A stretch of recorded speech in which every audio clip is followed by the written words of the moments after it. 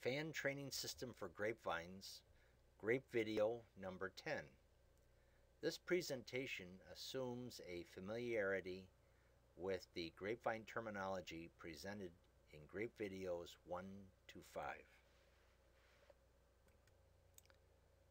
Wow, look at this vineyard.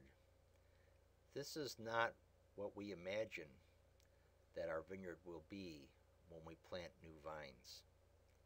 Indeed, this vineyard has struggled for many, many years, and the grower continues to try to make a go of it despite poor odds.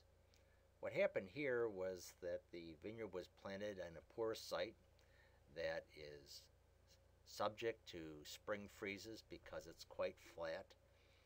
And in addition, it is planted on very heavy, wet clay ground and the vines get winter injured over and over and over again. And as you can see, many of them have died out. So when you have a situation like this, there are a few choices that can be made. When the chosen combination of vineyard site and variety lead to frequent winter injury, options that can be considered are abandon the vineyard. Say this was a mistake. This was not a place where a vineyard should be planted. This is not going to work and move on to other options. Or perhaps the site will work if you grow a hardier variety. So you pull out the vines that are being winter injured over and over again and you put in something more hardy and perhaps that will work for you. Or a third option is to cope with the current situation and use fan training. The advantage of fan training is that it's the best training system when coping with frequent severe winter injury to grapevines. And that's why we are presenting a video on this particular training system we're going to present videos on about six or eight training systems.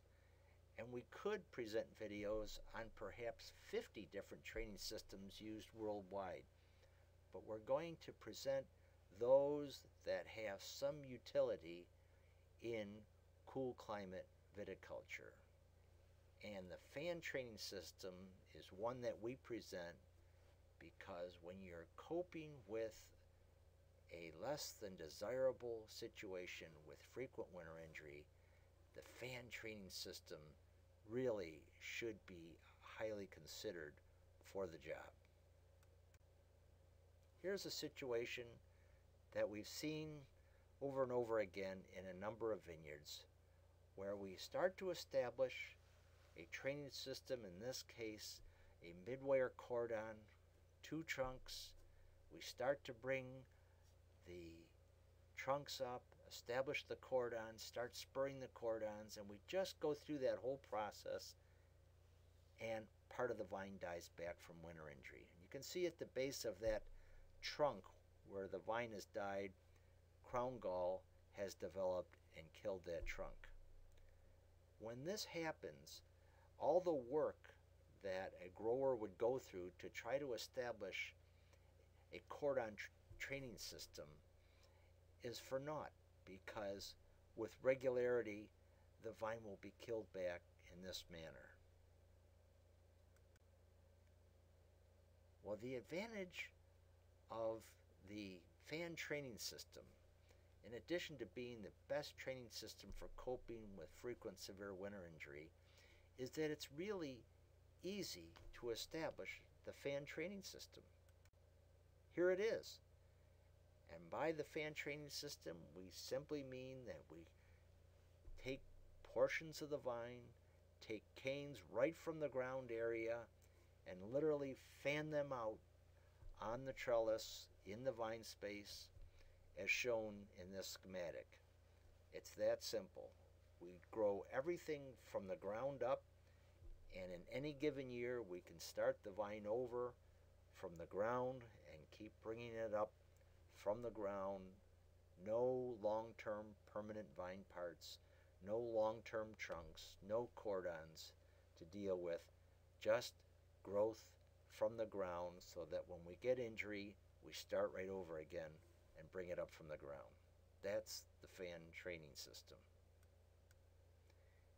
Here we have a photo of a Riesling vineyard at our research station near Traverse City. And this photo was taken many years ago, perhaps 15 years ago.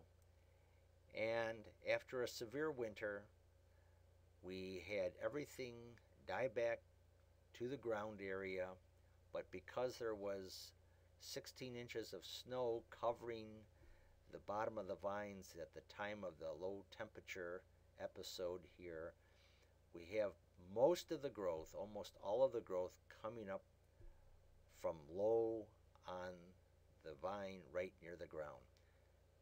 And if we were going to have these low temperature episodes over and over again, this would be the kind of situation where fan training would be suitable. Fortunately, that episode that occurred that caused this severe winter injury did, does not occur most years in this location. So that we reestablish these to the Scott Henry training system as shown here, and they have performed well for over a decade. What we're really talking about is using fan training when the winter injury is frequent. Another advantage of the fan training system is the ease of pruning.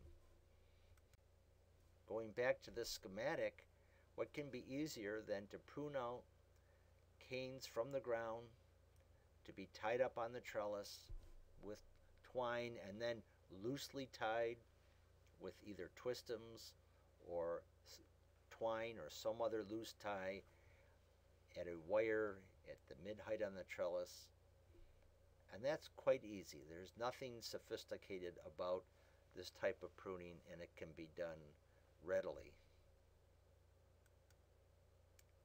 Now, one of the things about pruning a fan training system is to nurture a renewal of shoot growth that become canes near the ground.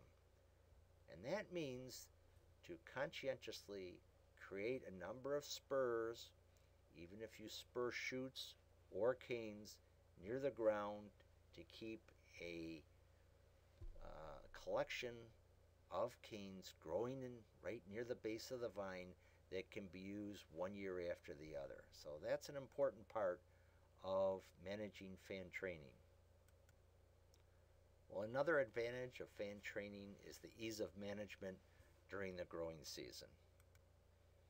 Here we go back to our schematic, and we would say first that when we train things, we should have multiple trunks coming up from the ground, not just one or even two, but multiple trunks coming up from the ground so that if one is injured or another is injured, a couple of them injured, we still have potential to produce a crop.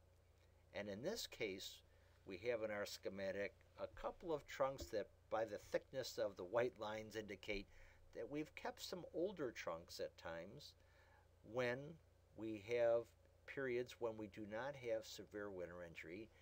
It isn't necessary to go all the way back down to the ground with all of the trunks every year. If we keep a healthy young trunk we can continue to fruit that as long as it stays healthy while we bring up young trunks or renewal canes uh, to fill out three, four, five trunks coming up in a fan to get the bud count that we need on each vine each year. If we only have one or two trunks that we fan out, this could be the result. Both of them could be injured if they're of similar age, like these canes were new canes, they could be so winter injured and develop such heavy crown gall that the vine is doomed and we cannot continue to manage the vine. So keep a lot of spurring near the ground and keep multiple trunks, not just double trunks on fan trained vines. Here's a situation of wet, heavy clay ground that results in a lot of winter injury to the vines. And you can see that we're bringing up three new canes in addition to the older trunks on this vine to keep a healthy reservoir of growth right near the ground. This is uh, an excellent start for fan training in this vineyard. And here's a situation in the vineyard we showed right at the beginning. And we'll just point out that one way to cope with wet feet, if you will, in a vineyard that really shouldn't have been planted uh, on such a wet site is to hill up under the trellis just as much as you can. You can see the mounds of soil under the trellis here, and that at least allows for some soil volume to be drained enough so that we can get some root development in these vines. So that's um, something that isn't part of fan training, but it's part of a management of a poor vineyard site that often will be associated with fan training. Here's another picture of that.